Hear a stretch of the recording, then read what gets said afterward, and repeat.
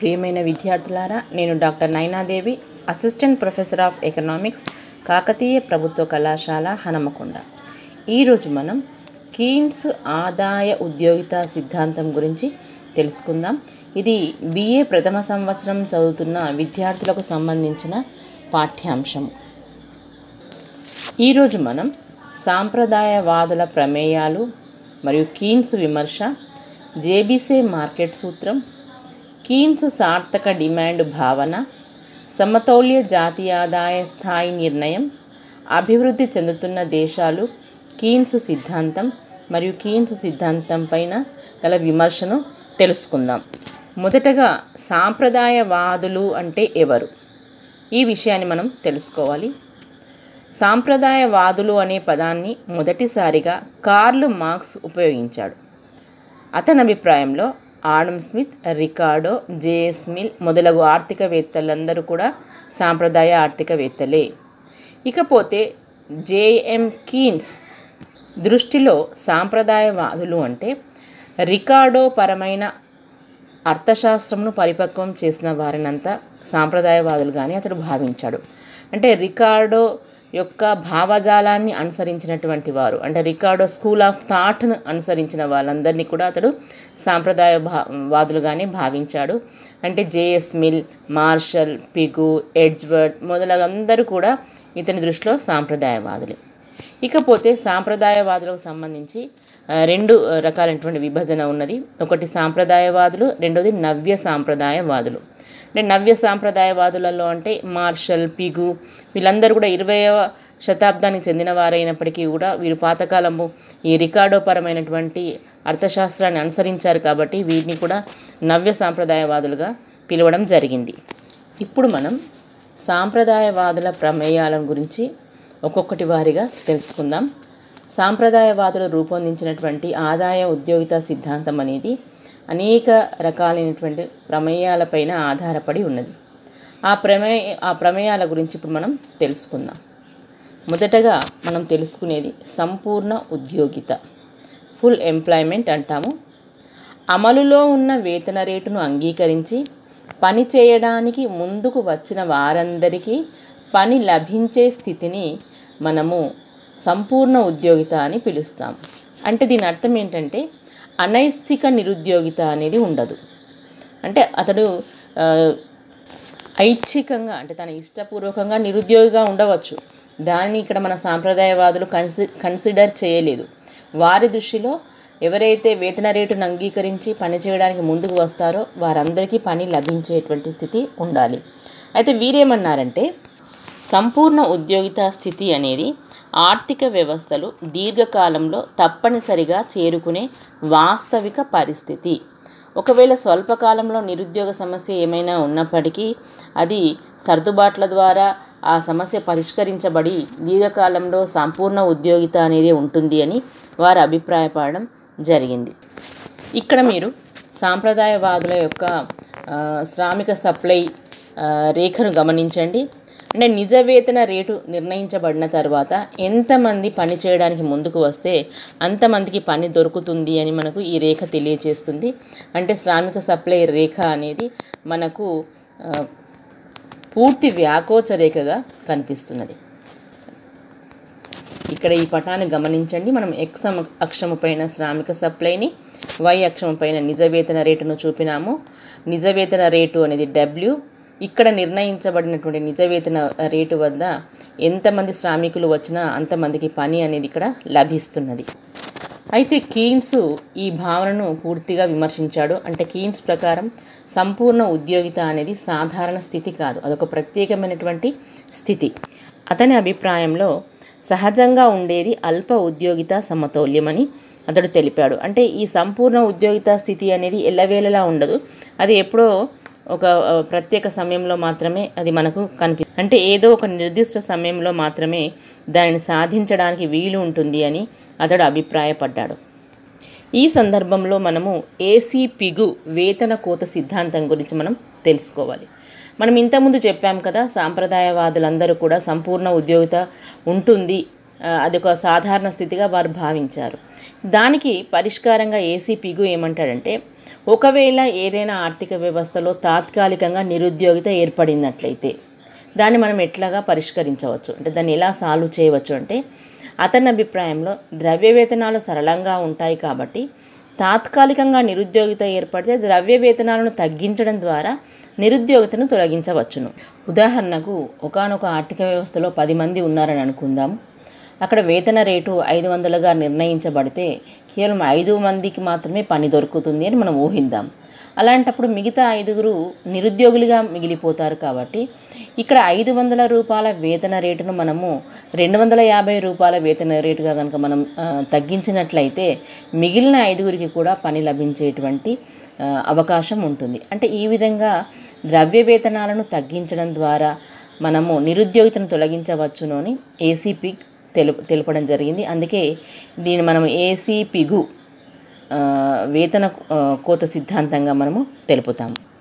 అయితే ఈ ఏసీ పిగు ఇచ్చినటువంటి వేతన కోత సిద్ధాంతాన్ని కీన్స్ తీవ్రంగా విమర్శించాడు. అతని అభిప్రాయంలో పటిష్టమైనటువంటి శ్రామిక సంఘాలు ఉండడం వలన వారు వేతన కోతకు ఏమాత్రముకు అంగీకరించరు. ఇంకా అంతేకాకుండా వేతన కోత అనేది ఆర్థిక వ్యవస్థలో దుష్పరిణామాలను దానికి దారితీస్తుంది ముఖ్యంగా వేతనాలు కనుక తగ్గించినట్లయితే ప్రజల కొనుగోలు శక్తి అనేది పడిపోతుంది. ప్రజల కొనుగోలు శక్తి తగ్గిపోతే సార్థక డిమాండ్ తగ్గుతుంది. ఇది మళ్ళీ పరోక్షంగా ఉత్పత్తిదారులు ఉత్పత్తిని నిలిపివేయడానికి కారణమవుతుంది. అంటే ఆర్థిక మాంద్యంలో ఆర్థిక వ్యవస్థ కనుక ఉన్నట్లయితే ఇలాంటి వేతన కోతం ద్వారా అది మరింత మాంద్యంలోకి నెట్టివేయబడుతుందే కానీ మళ్ళీ వృద్ధి దశకు వెళ్ళడం సాధ్యం కాదు అని ఇక్కడ కీన్స్ ఈ వేతన కోత సిద్ధాంతాన్ని అంటే ఏసీ పిగు తెలిపిన వేతన కోత సిద్ధాంతాన్ని తీవ్రంగా విమర్శించారు. సాంప్రదాయవాదుల మరొక ప్రమేయం గురించి మనం చర్చిద్దాం. అది స్వేచ్ఛాపూరిత పెట్టుబడిదారీ విధానం. ఈ సాంప్రదాయవాదులందరూ కూడా ఆర్థిక కార్యకలాపాల్లో ప్రభుత్వ జోక్యం ఉండకూడదు అని భావించారు. అంటే మార్కెట్ శక్తులు అనేవి సహజ సిద్ధంగా ఆ, పనిచేయాలన్నా అంటే మార్కెట్ శక్తుల ద్వారా మార్కెట్ శక్తులు అంటే ఏంటిది?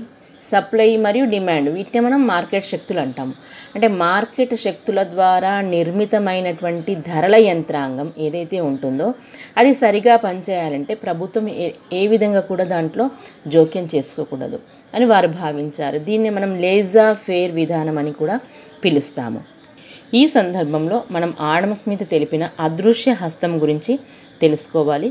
అతడేమంటాడంటే ప్రభుత్వ జోక్యం ఆర్థిక కార్యకలాపాల్లో తక్కువగా ఉండాలని ఈ అగోచర హస్తం లేదా అదృశ్య హస్తం ద్వారా దేశ శ్రేయస్సును సాధించవచ్చునని అతడు అతడు విశ్వసించాడు. ఇంతకీ ఏమిటి అదృశ్య హస్తం? ఏమిటి ఈ అగోచర హస్తం? అంటే దాని అర్థం ఏమిటో మనం తెలుసుకుందాం. ఆనంద్ స్మిత్ అభిప్రాయంలో అదృశ్య హస్తం అంటే లాభార్జన స్వలాభం కోసం కష్టపడడం స్వార్థం.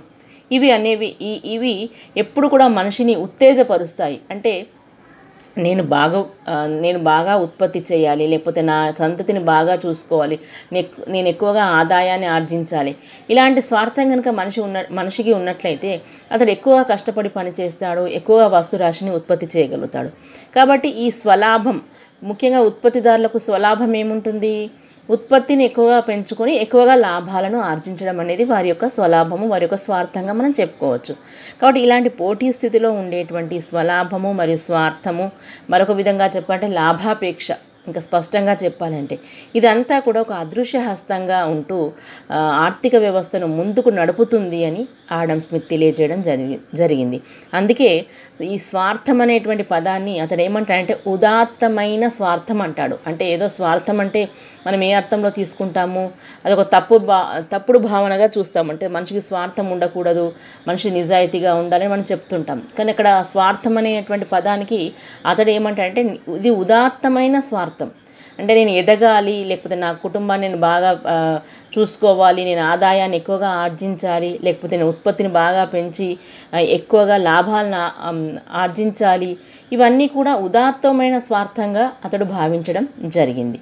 కాబట్టి ఈ స్వేచ్ఛాపూరిత పెట్టుబడిదారి విధానంలో ఎట్టి పరిస్థితుల్లో ప్రభుత్వ జోక్యం ఉండకూడదు అనేది సాంప్రదాయవాదుల యొక్క అభిప్రాయంగా మనం ఇక్కడ చెప్తున్నాం. ఇప్పుడు మనం ఈ ఈ స్వేచ్ఛాపూరిత పెట్టుబడిదారి విధానం పైన కీన్స్ యొక్క విమర్శ ఏంటో మనం చూద్దాం. ఆర్థిక కార్యకలాపాల్లో ప్రభుత్వ జోక్యం ఉండకూడదు అని ఈ సాంప్రదాయవాదులు భావించారు కదా.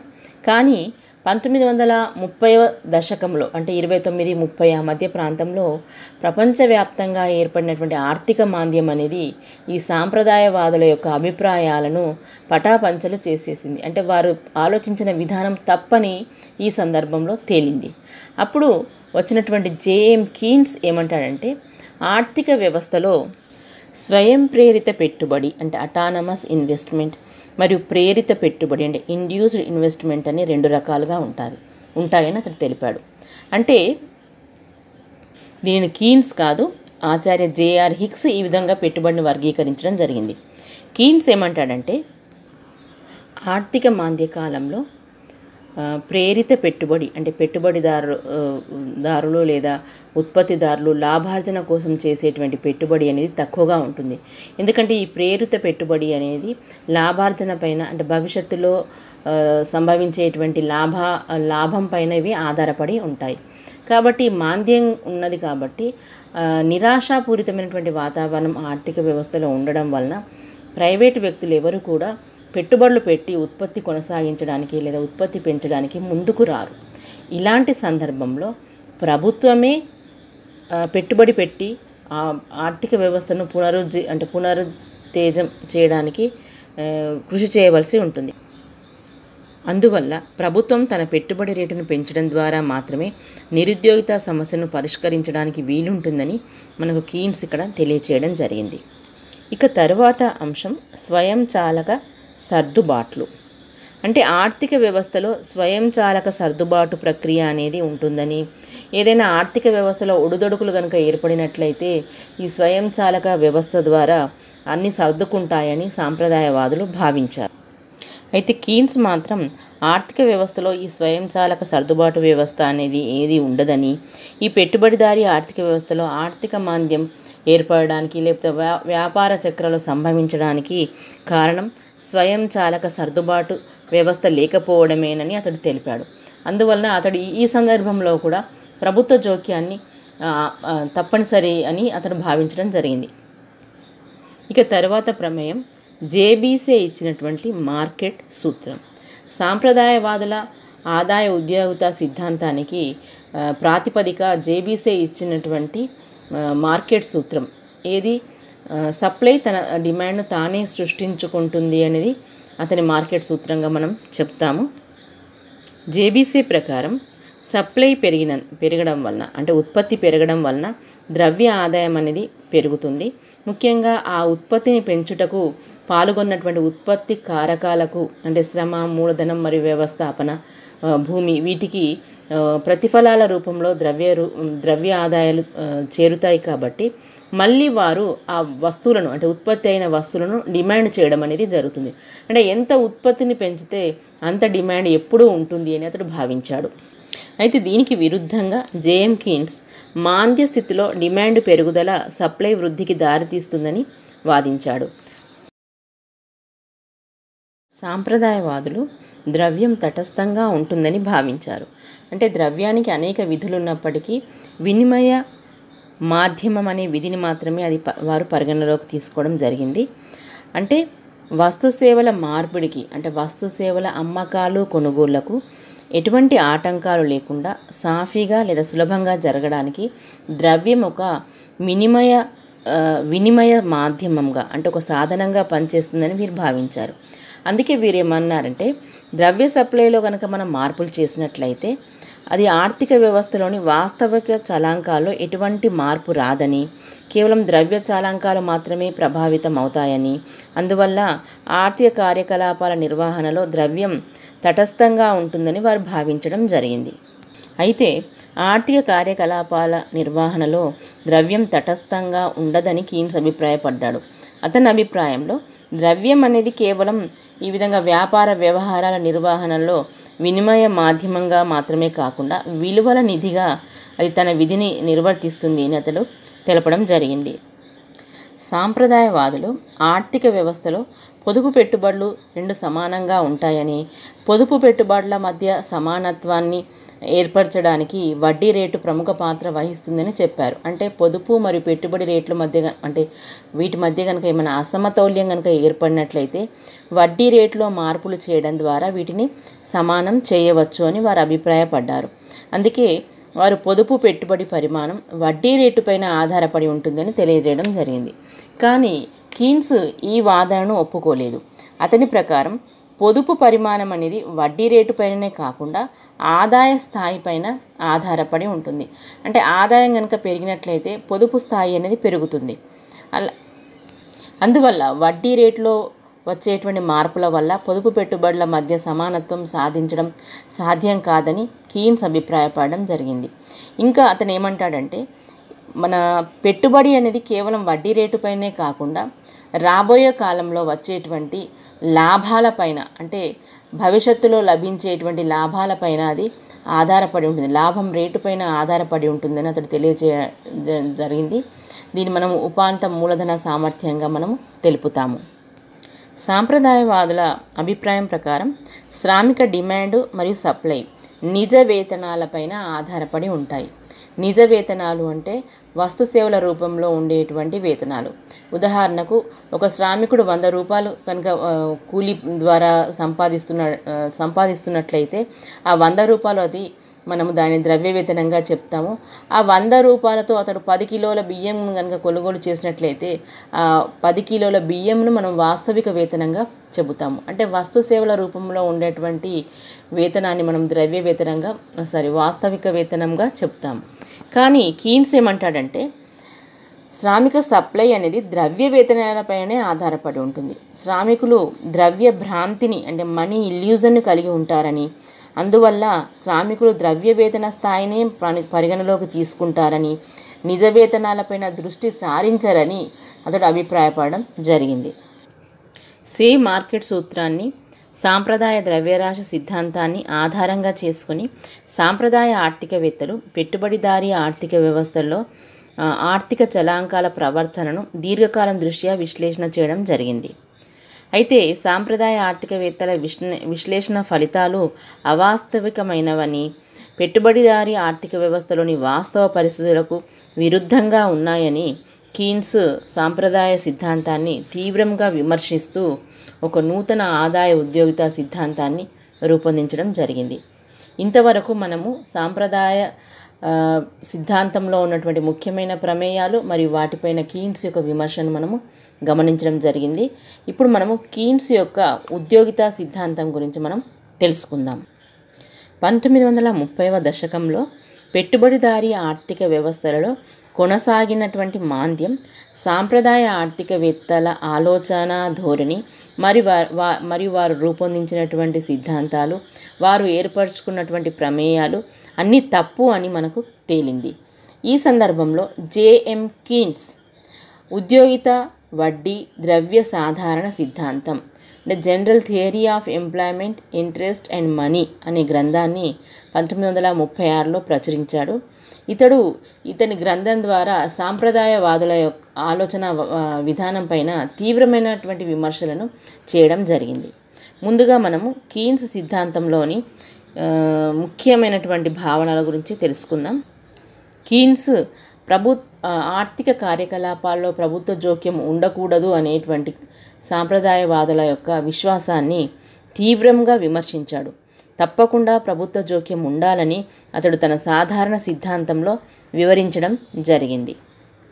అతని అభిప్రాయంలో పెట్టుబడిదారీ ఆర్థిక వ్యవస్థలో ఆర్థిక మాంద్యానికి మూల కారణం ఏమిటంటే వస్తువుల సమిష్టి సప్లైకి తగిన సమిష్టి డిమాండ్ లేకపోవడమే. అతడు ఈ సందర్భంగా సమిష్టి సప్లై మరి సమిష్టి డిమాండ్ల గురించి తెలుపుతూ సార్థక డిమాండ్ అనేటువంటి ఒక నూతనమైనటువంటి భావనను తెలియజేయడం జరిగింది. కీన్స్ ఉద్యోగిత సిద్ధాంతంలో సార్థక డిమాండ్ భావనకు చాలా ప్రాధాన్యం ఉన్నది. అంటే ఒక విధంగా చెప్పాలంటే ఇతని ఆర్థిక విశ్లేషణకు ఈ సార్థక డిమాండ్ అనే భావన గుండెకాయ లాంటిది అని అంటారు. ఇంతకు ఏమిటి సార్థక డిమాండ్? మనం దేన్ని మనం సార్థక డిమాండ్ అని పిలవాలి? ఆర్థిక వ్యవస్థలో ఉద్యోగిత స్థాయి అనేది సార్థక డిమాండ్ పైనే ఆధారపడి ఉంటుంది. సార్థక డిమాండ్ సమిష్టి డిమాండ్ ధరపైన సమిష్టి ధర సమిష్టి సప్లై ధరపైన ఆధారపడి ఉంటుంది. అంటే సార్థక డిమాండ్లో రెండు భాగాలు ఉన్నాయి అది సమిష్టి డిమాండ్ ధర మరియు సమిష్టి సప్లై ధర. ముందుగా మనము సమిష్టి సప్లై ధర గురించి తెలుసుకుందాం.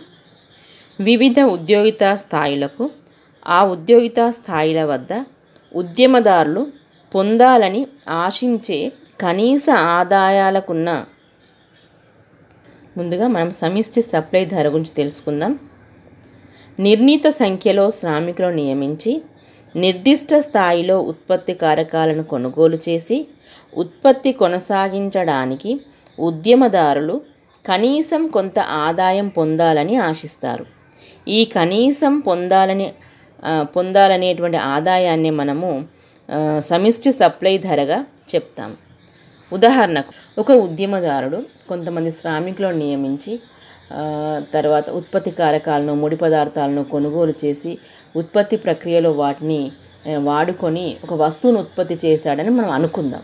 ఆ వస్తువు ధర అంటే ఆ వస్తువుకు అయినటువంటి ఖర్చు వంద రూపాయలు అయితే అది దాని యొక్క ఉత్పత్తి వ్యయంగా మనం చెప్పవచ్చును. ఉత్పత్తి వ్యయం కనుక ధరకు సమానమైనట్లయితే అతడు కనీసం ఎంత పొందాలి? అంటే వంద రూపాయలు అయితే అతడు కనీసం తిరిగి పొందాల్సిందే. అంతకన్నా తక్కువ కనుక అతడు పొందినట్లయితే ఆ వస్తువును అమ్మడం ద్వారా అతడు నష్టపోతాడు. కాబట్టి ఈ విధంగా కనీసం పొందాల్సినటువంటి ఈ మన మన వ్యయాన్ని అంటే ఈ ఉత్పత్తి వ్యయాన్ని లేకపోతే కనీసం పొందాల్సినటువంటి ఈ కనీస ఆదాయాన్ని మనము సమిష్టి సప్లై ధరగా మనం చెప్పవచ్చును. విద్యార్థులారా ఇక్కడ మీరు తెలుసుకోండి ఉత్ ఉత్పత్తి వ్యయంలో సామాన్య లాభం అనేది కూడా ఇమిడి ఉంటుంది. అంటే వ్యవస్థాపనకు గాను అతడు పొందేటువంటి ప్రతిఫలం లాభం కదా. ఈ లాభం అనేది మనము ఉత్పత్తి వ్యయంలో భాగంగా ఉంటుంది కాబట్టి మనం దాన్ని సామాన్య లాభం అని అంటాము. అందుకే ఉత్పత్తి వ్యయం అనేది ధరకి ఇక్కడ సమానంగా ఉంటుంది.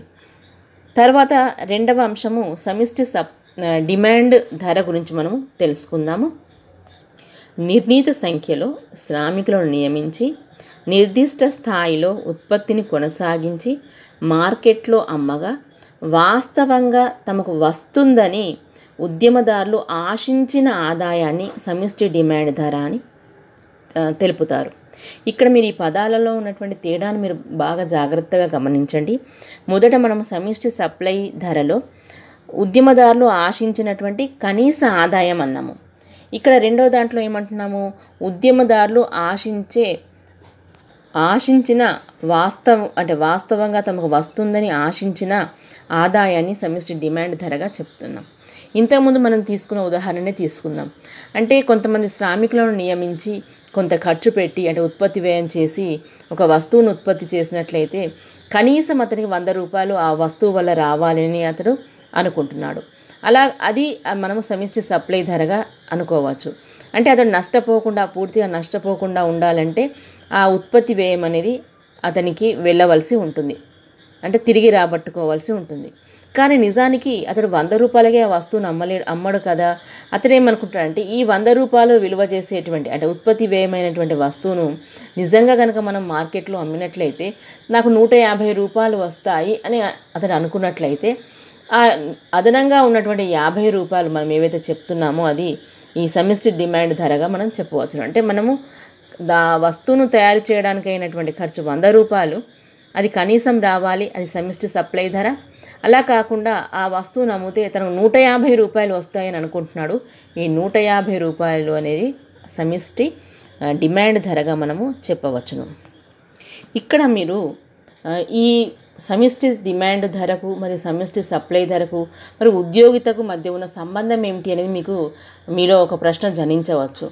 అంటే ఉత్పత్తిని పెంచాలి అంటే తప్పనిసరిగా ఉద్యోగితను పెంచాల్సిందే. అంటే ఉద్యోగిత అంటే ఏంది? అందులో నిమగ్నమైనటువంటి శ్రామికులు మరియు నిమగ్నమైనటువంటి ఉత్పత్తి కారకాలు ఇవన్నీ కూడా మనము నిరుపయోగంగా ఉన్న వనరులన్నింటినీ కూడా ఉపయోగంలోకి తీసుకురావడమే మనం ఇక్కడ ఉద్యోగితగా మనము చెప్పుకోవచ్చు.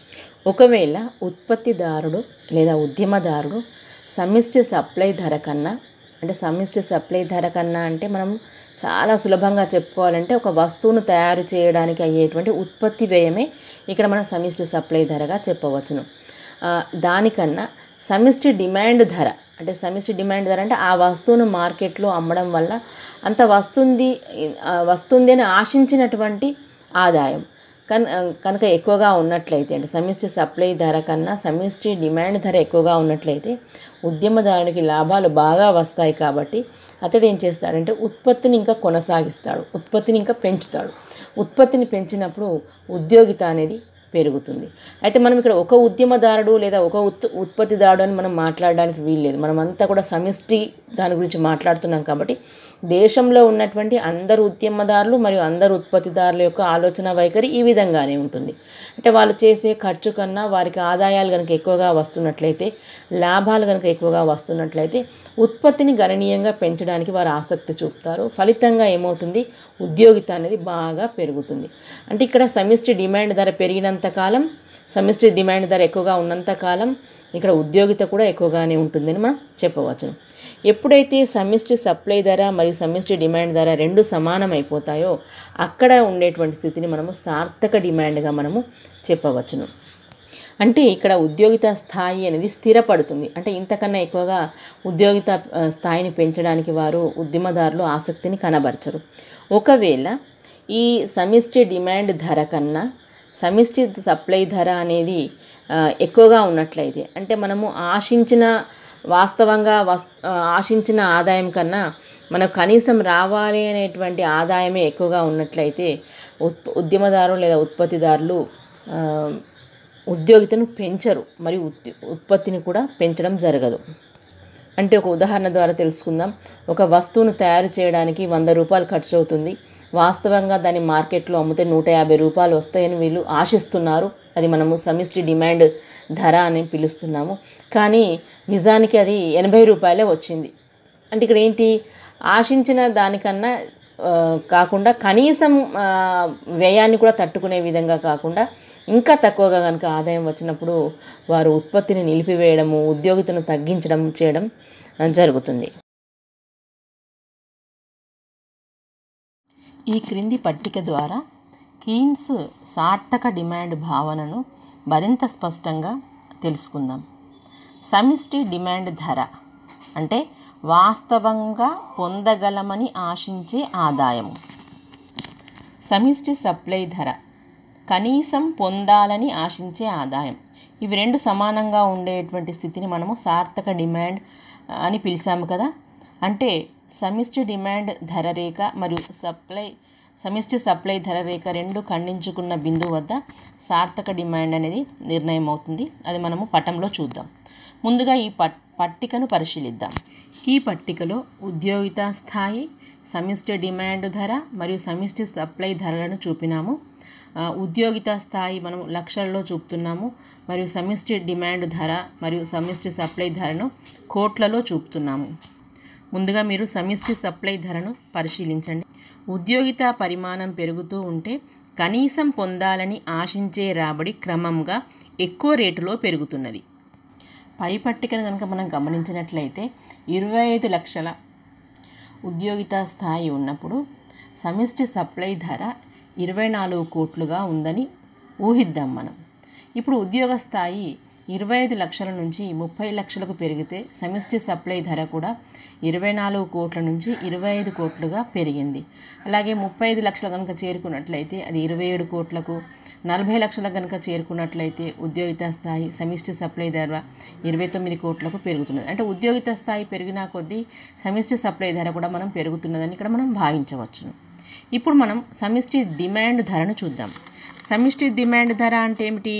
వాస్తవముగా పొందగలమని ఆశించేటు ఆశించే ఆదాయం. మరొక విధంగా చెప్పాలంటే సమిష్టి డిమాండ్ ధరను మనము అంచనా రాబడిగా అలాగే సమిష్టి సప్లై ధరను అంచనా వ్యయంగా మనం చెప్పవచ్చును. వివిధ ఉత్పత్తి రాశుల వద్ద సంఘంలోని ప్రజలు ఎంత మొత్తంలో వస్తు సేవలపైన వ్యయం చేయడానికి సిద్ధపడతారు. దాన్ని మనము సమిష్టి డిమాండ్ పట్టిక ద్వారా తెలుసుకోవచ్చు. అంటే సమిష్టి డిమాండ్ అనేది ఆర్థిక వ్యవస్థలో మొత్తం వస్తురాశికి ఉండేటువంటి డిమాండ్ను అది తెలియజేస్తుంది. వినియోగ వస్తువుల డిమాండ్ను ఉత్పాదక వస్తువుల డిమాండ్ను కలిపినట్లయితే ఆర్థిక వ్యవస్థలో మొత్తం వస్తురాశికి ఉండే డిమాండ్ అనేది తెలుస్తున్నది. ఉద్యోగిత పరిమాణం పెరుగుతూ ఉంటే సమిష్టి డిమాండ్ ధరలు కూడా పెరుగుతున్నాయి. మీరు పట్టికను గమనించండి. ఉద్యోగిత స్థాయి ఇరవై ఐదు లక్షలు ఉన్నప్పుడు సమిష్టి డిమాండ్ ధర ఇరవై ఐదు కోట్లుగా అలాగే నలభై లక్షలు ఉన్నప్పుడు ఇరవై ఎనిమిది కోట్లుగా మనం చూస్తున్నాము. అయితే ఉద్యోగిత పరిమాణాలు మరియు వాటికి సంబంధించిన సమిష్టి డిమాండ్ ధరలను ఒక రేఖ ద్వారా కనుక మనం చూపినట్లయితే మనకు సమిష్టి డిమాండ్ ఫలం అనేది వస్తుంది. ఇక్కడ ఈ పట్టికలో ఉద్యోగిత స్థాయి ముప్పై ఐదు లక్షలు ఉన్నప్పుడు సమిష్టి డిమాండ్ ధర ఇరవై ఏడు కోట్లు మరియు సమిష్టి సప్లై ధర ఇరవై ఏడు కోట్లుగా ఉంది.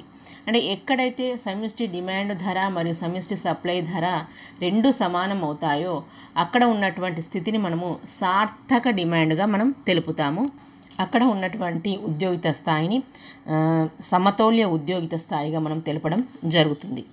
దీనిని మ- మీరు ఈ పట్టిక ద్వారా గమనించవచ్చు. అయితే ఈ పట్టికను మీరు జాగ్రత్తగా గమనించండి. మనకు ఉద్యోగిత స్థాయి ముప్పై ఐదు లక్షలు ఉన్నప్పుడు సమిష్టి డిమాండ్ ధర మరియు సమిష్టి సప్లై ధరలు రెండు సమానమైనాయి. కానీ ఆర్థిక వ్యవస్థలో ఇంకా పదిహేను లక్షల మంది నిరుద్యోగులుగానే ఉన్నారు. అంటే ఇది సంపూర్ణ ఉద్యోగిత కాదు అని మనకు ఇక్కడ కీన్స్ తెలియజేయడం జరిగింది. అందుకే ఈ విధంగా సమిష్టి డిమాండ్ మరియు సమిష్టి సప్లైలు సమానమైన చోట మనం సార్థక డిమాండ్ అన్నాం కదా అక్కడ ఉన్నటువంటి ఈ ఉద్యోగిత స్థాయిని అతడు అల్ప ఉద్యోగిత సమతుల్యంగా తెలియచేయడం జరిగింది. అంటే ఎందుకన్నాడు అలా అల్ప ఉద్యోగిత స్థాయి అని అంటే ఇంకా ఆర్థిక వ్యవస్థలో నిరుద్యోగులుగా ఉన్న వారి సంఖ్య ఇంకా ఎక్కువగానే ఉంది. అంటే ఇంకా దాదాపు ఒక పదిహేను లక్షల మంది ఇంకా పూర్తిగా ఉద్యోగాలు లేకుండానే ఉన్నారని మనం ఈ పట్టిక ద్వారా తెలుసుకోవచ్చును. అంటే నిరుద్యోగి నిరుద్యోగిత సమస్య ఉన్నప్పటికీ ఆర్థిక వ్యవస్థ సమతౌల్య స్థితికి చేరుకుంది. ఈ నిరుద్యోగితతో కూడిన సమతౌల్య స్థితినే మనం ఏమన్నాము అల్ప ఉద్యోగిత సమతౌల్యం అంటే అండర్ ఎంప్లాయ్మెంట్ ఈక్విలిబ్రియంగా మనము చెప్పవచ్చును. దీనిని ఈ పటం ద్వారా మనం గమనిద్దాం. పై పటంలో ఎక్స్ అక్షముపై ఉద్యోగితను మరియు వై అక్షము పైన డిమాండ్ మరియు సప్లైలను చూపినాము. ఏడిపి అనేది సార్థక డిమాండ్ను తెలిపే రేఖ ఏఎస్పి అనేది మన సార్ సార్థక కాదు సమిష్టి డిమాండ్ను తెలిపే రేఖ ఏఎస్పి అనేది సమిష్టి సప్లైని తెలిపేటువంటి రేఖ. ఈ రెండు రేఖలు కూడా ఈ అనే బిందువు వద్ద ఖండించుకున్నాయి. అక్కడ ఏర్పడినటువంటి ఉద్యోగిత స్థాయి ముప్పై ఐదు లక్షలు. దీన్ని మనము సమతౌల్య ఉద్యోగిత స్థాయిగా చెప్పుకున్నాము. అలాగే వాస్తవంగా పొందే రాబడి మరియు కనీసం పొందాలనుకున్నటువంటి రాబడి ఇవి రెండు కూడా ఈ ఈ బిందువు వద్ద సమానంగా ఉన్నాయి. ఆర్థిక వ్యవస్థ సమతౌల్య స్థితికి చేరుకున్నప్పటికీ కూడా మనకు ఇంకా నిరుద్యోగులు పదిహేను లక్షల మంది మిగిలి ఉన్నట్టుగా మనం ఈ పటం ద్వారా గమనిస్తున్నాము.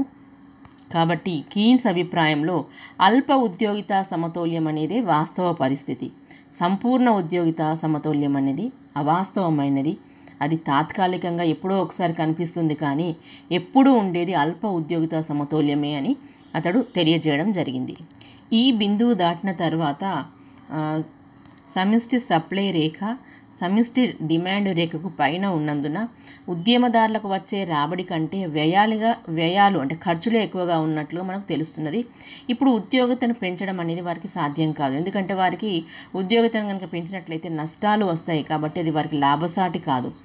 అయితే సంపూర్ణ ఉద్యోగితను సాధించాలంటే సార్థక డిమాండ్ స్థాయిని ఈ నుంచి ఈ వన్ వరకు పెంచాల్సి ఉంటుంది. ప్రైవేట్ రంగం వారు ఈ పని చేయరు ఎందుకంటే వారికి నష్టాలు వస్తాయి కాబట్టి ప్రభుత్వమే జోక్యం చేసుకొని పెట్టుబడిని పెంచి సార్థక డిమాండ్ను పెంచి సంపూర్ణ ఉపాధిని సాధించాలని కీన్స్ తెలియజేయడం జరిగింది. మనం ఇప్పుడు సమతౌల్య జాతీయ ఆదాయ స్థాయి నిర్ణయాన్ని గమనిద్దాం. సమిష్టి డిమాండ్ ఆర్థిక వ్యవస్థలోని మొత్తం వ్యయాన్ని తెలియజేస్తే సమిష్టి సప్లై అనేది మొత్తం వస్తురాశి విలువ లేదా జాతీయ ఆదాయాన్ని తెలియజేస్తుంది. అంటే Y is equal to C plus I అవుతుంది.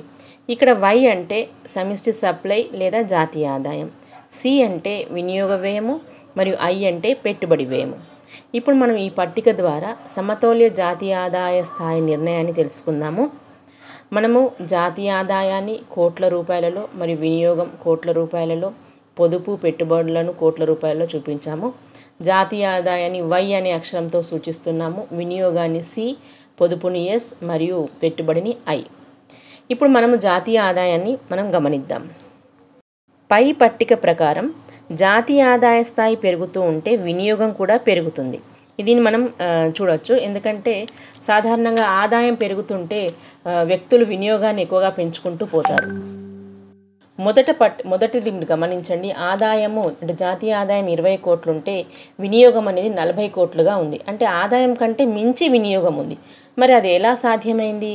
అంటే సాధారణంగా వ్యక్తులు ఏం చేస్తారంటే వారి ఆదాయాలు తక్కువగా ఉన్నప్పుడు ఖర్చులు కనుక ఎక్కువగా ఉన్నట్లయితే అంటే వినియోగం కనుక ఎక్కువగా ఉన్నట్లయితే వారు పొదుపు నుంచి లేకపోతే పాత దాచుకున్నటువంటి ద్రవ్యం నుంచి వారు ఆ ఖర్చును చేయడం జరుగుతుంది. అందుకే ఇక్కడ ఏమవుతుందంటే మనకు పొదుపు అనేది రుణాత్మకం అవుతుంది అంటే మనం మైనస్ ట్వంటీగా చూపించాం. అంటే ఆదాయం ఇరవై కోట్లు అయితే వినియోగం నలభై కోట్లు కాబట్టి ఇక్కడ పొదుపు అనేది మనం మైనస్ ట్వంటీగా మనం చూపడం జరిగింది.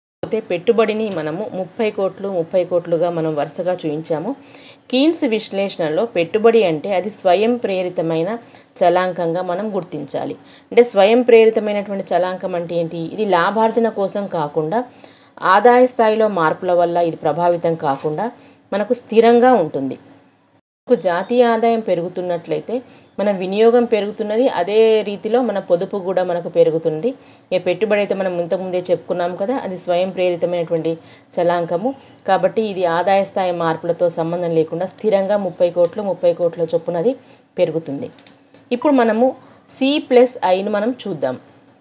జాతీయ ఆదాయం ఇరవై కోట్లుగా ఉన్నప్పుడు మనకు సి ప్లస్ ఐ అంటే వినియోగము ప్లస్ మరియు పెట్టుబడి అనేది డెబ్బై కోట్లుగా ఉంది. అంటే ఇక్కడ జాతీయ ఆదాయం కన్నా మనకు సమిష్టి డిమాండ్ అనేది ఎక్కువగా ఉన్నదని మనం ఇక్కడ చెప్పుకోవచ్చును. మనం ముందే అన్నాం కదా వై అనేది సమిష్టి సప్లై లేదా మనం జాతీయ ఆదాయం అని మనం పిలుస్తున్నాము. ఈ విధంగా మనకు జాతీయ ఆదాయ స్థాయి నూట ఇరవై కోట్లకు చేరుకున్నప్పుడు మరియు పొదుపు మరియు సారీ వినియోగము మరియు పెట్టుబడి ఇవి రెండు కలిపితే మనకు నూట ఇరవై కోట్లుగా చేరుకుంది. అంటే తొంభై ఏమో తొంభై కోట్లేమో వినియోగ వ్యయం ఉంటే మనకు పెట్టుబడి అనేది ముప్పై కోట్లు తొంభై కోట్లు ప్లస్ ముప్పై కోట్లు నూట ఇరవై కోట్లుగా ఉందని మనం ఇక్కడ చెప్పవచ్చును. అంటే ఇక్కడ సమిష్టి డిమాండ్ అంటే దాన్ని మనం ఏమంటాం? మొత్తం వేయమంటాం కదా? సమిష్టి డిమాండ్ అనేది దేనికి సమానంగా ఉన్నది? సమిష్టి సప్లైకి సమానంగా ఉన్నది. అంటే Y is equal to C plus ఐగా ఉన్నది. ఈ పరిస్థితిలో మనము గమనించినట్లయితే పొదుపు అనేది పెట్టుబడికి సమానంగా ఉంది. ఒకసారి మీరు చూడండి. మనకి ఎప్పుడైతే జాతీయ ఆదాయం నూట ఇరవై కోట్లుగా ఉందో దాన్ని మనం మన రంగును షేడ్ చేయడం జరిగింది. నూట ఇరవై కోట్లుగా ఉన్నటువంటి స్థాయిలో పొదుపు అనేది మనకు ముప్పై కోట్లుగా ఉంటే మనకు పెట్టుబడి కూడా ముప్పై కోట్లుగా ఉన్నది. మీరు గమనించండి మనము పసుపు రంగులో దాన్ని మనం షేడ్ చేయడం జరిగింది. అంటే Y is equal to C plus ఐగా ఉంటే ఆర్థిక వ్యవస్థలో సాధారణ పరిస్థితులు నెలకొని ఉంటాయి. అలా కాకుండా జాతీయ ఆదాయ స్థాయి అనేది సి ప్లస్ ఐ కంటే అంటే మనం దాన్ని ఏమంటాము సార్ మన సమిష్టి డిమాండ్ అంటాం కదా సమిష్టి డిమాండ్ ఎక్కువగా ఉండి సమిష్టి సప్లై అంటే వై తక్కువగా ఉంటే మనకు పొదుపు అనేది తక్కువగా ఉండి పెట్టుబడి అనేది ఎక్కువగా ఉంటుంది.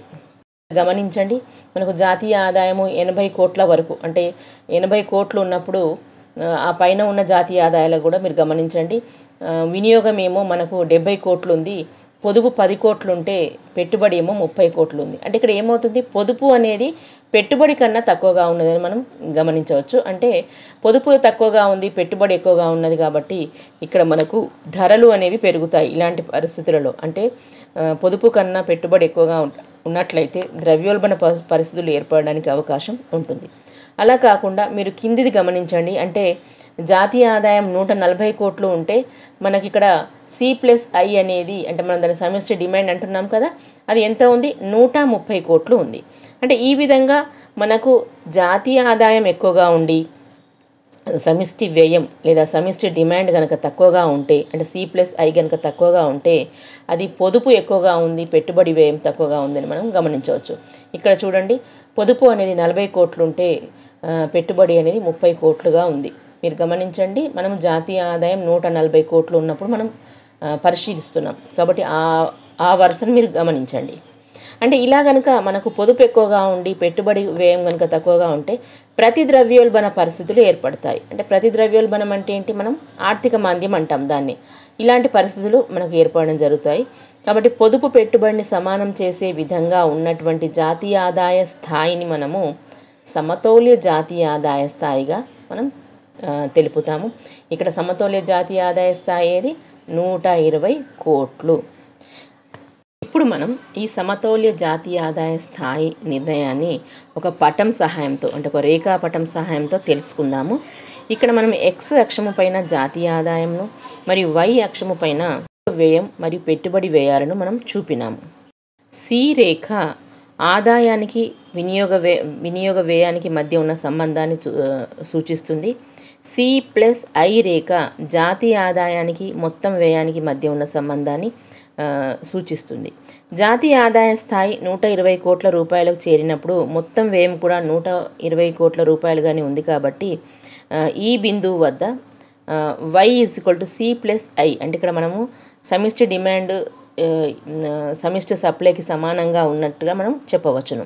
దీనినే మనము సమతౌల్య జాతీయ ఆదాయంగా పిలుస్తాము. అంటే నూట ఇరవై కోట్ల రూపాయల ఉన్నప్పుడు జాతీయ ఆదాయం సమతౌల్యంలో ఉంది అని మనం ఇక్కడ చెప్పవచ్చు. సాధారణ సిద్ధాంతంలో కీన్స్ సూచించిన ప్రతిపాదనలు అభివృద్ధి చెందుతున్న దేశాల్లోని సమస్యల పరిష్కారానికి ఎంత మేరకు ఉపకరిస్తాయో అనేది మనం ఇప్పుడు తెలుసుకుందాం. పెట్టుబడిదారీ ఆర్థిక వ్యవస్థల్లో నిరుద్యోగం అనేది తాత్కాలికమైనది. అంటే వ్యాపార చక్రాల్లో భాగంగా మాంద్య పరిస్థితులలో ఈ నిరుద్యోగం అనేది ఏర్పడుతుంది. మళ్ళీ వృద్ధి దశకు చేరుకున్నప్పుడు ఈ నిరుద్యోగం అనేది అంతరిస్తుంది. కానీ అభివృద్ధి చెందుతున్న దేశాల్లో కనుక మనం చూసినట్లయితే నిరుద్యోగ సమస్య అనేది వ్యవస్థాపరమైనది మరియు చాలా తీవ్రమైనది. ఈ దేశాల్లో అంటే అభివృద్ధి చెందుతున్నటువంటి దేశాల్లో నిరుద్యోగత సమస్య అనేది సమిష్టి డిమాండ్ లోపించడం వల్ల ఏర్పడింది కాదు. మూలధనం కొరత కారణంగా లేకపోతే జనాభా పెరుగుదల కారణంగా పేదరిక కారణంగా. ఇలాంటి అనేక కారణాల వల్ల ఈ దేశాల్లో నిరుద్యోగిత సమస్య అనేది ఉంటుంది. అందువల్ల ఈ నిరుద్యోగిత సమస్య స్వభావంలో తేడాలు ఉండడం వలన ఈ పెట్టుబడిదారి ఆర్థిక వ్యవస్థలో ఏర్పడినటువంటి ఒడిదొడుకులకు కీన్స్ ఇచ్చినటువంటి సూచనలు కానివ్వండి పరిష్కార మార్గాలు కానివ్వండి అభివృద్ధి చెందుతున్న దేశాలకు సరిపడవు అనేది ఒక విమర్శగా మనము చెప్పవచ్చును. ముఖ్యంగా అభివృద్ధి చెందుతున్నటువంటి దేశాల్లో సమిష్టి డిమాండ్ సాధారణంగా సమిష్టి సప్లై కన్నా ఎక్కువనే ఉంటుంది. కాబట్టి ఈ నిరుద్యోగిత సమస్యను పరిష్కరించే ఉద్దేశంతో ప్రభుత్వం కనుక ఎక్కువ వ్యయం చేసినట్లయితే అంటే ప్రభుత్వం ఇంకా ఎక్కువ ఖర్చు పెట్టి సార్థక డిమాండ్ కనుక పెంచినట్లయితే ఆ డిమాండ్ పెరిగినంత మేరకు వస్తురాశి ఉత్పత్తి కాదు కాబట్టి ఈ విధమైన ఈ విధమైనటువంటి అంతరం వలన ధరలు ఏమవుతాయంటే విపరీతంగా పెరిగిపోతాయి. అంటే అభివృద్ధి చెందుతున్నటువంటి దేశాలలో మితిమీరిన ప్రభుత్వ వ్యయం అనేది ధరల పెరుగుదలకు కారణమవుతుంది ద్రవ్యోల్బణానికి దారితీస్తుంది. ద్రవ్యోల్బణం అనేది పేదవారిని మరింత పేదవానిగా మారుస్తుంది కాబట్టి ఇది మనం అభి అభిలషణించేటువంటి పరిస్థితి కాదు అని మనం ఇక్కడ చెప్పవచ్చు.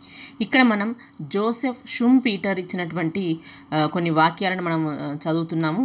ఎందుకంటే అతను ఏమంటాడంటే కీన్ సిద్ధాంతంలోని ప్రతిపాదనలు అభివృద్ధి చెందుతున్న దేశాల్లోని సమస్యల పరిష్కారానికి ఏ మేరకు ఉపయోగకరంగా ఉంటాయి అనేది అతను ఈ వాక్యాల ద్వారా తెలియజేశాడు.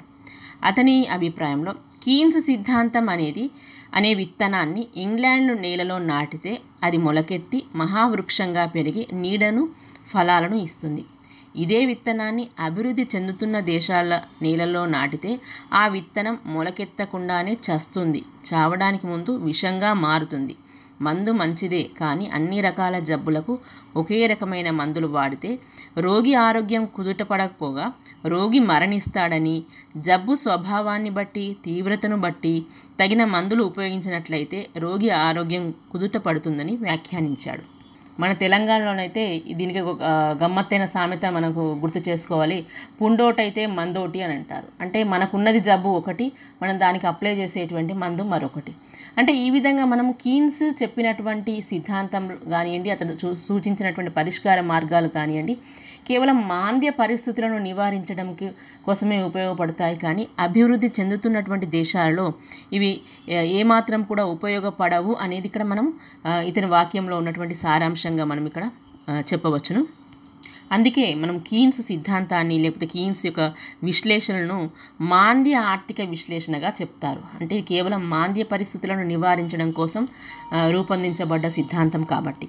అలాగే అభివృద్ధి చెందుతున్న దేశాల్లో కీన్స్ సూచించిన పెట్టుబడి గుణక ప్రభావం కూడా ఆశించిన స్థాయిలో ఉండదు అనేది మరొక విమర్శగా మనం చెప్పవచ్చును. అభివృద్ధి చెందుతున్న దేశాల్లో ఉండేటువంటి సాంఘిక సామాజిక ఆర్థిక పరిస్థితులు ఆయా దేశాల్లో ఉన్నటువంటి వ్యవస్థాపరమైనటువంటి లోపాలు ఇవన్నీ కూడా అభివృద్ధి చెందిన దేశాలతో పోలిస్తే పూర్తిగా భిన్నంగా ఉంటాయి. అంటే పూర్తిగా వేరుగా ఉంటాయి. కాబట్టి అభివృద్ధి చెందిన దేశాల్లో అతడు సూచించినటువంటి మన పరిష్కార మార్గాలు అనేవి అభివృద్ధి చెందుతున్న దేశాలకు ఏమాత్రం సరిపోవని సరిపడవని ఇక్కడ మనము ఈ విషయాన్ని గుర్తు చేసుకుంటున్నాం.